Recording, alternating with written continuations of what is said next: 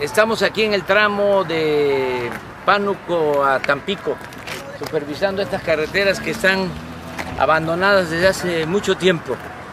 Me acompaña el subsecretario de Comunicaciones, Jorge Nuño, que está aquí con nosotros. Pero miren lo que nos encontramos aquí, esta familia y esta nena que se llama Maya, ¿eh? que es bellísima.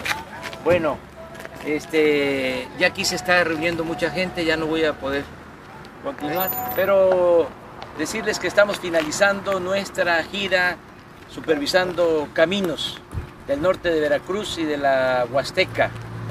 Eh, estuvimos hace un momento en Ciudad Valles y ahora ya vamos de regreso a la Ciudad de México, vamos a tomar el avión en Tampico.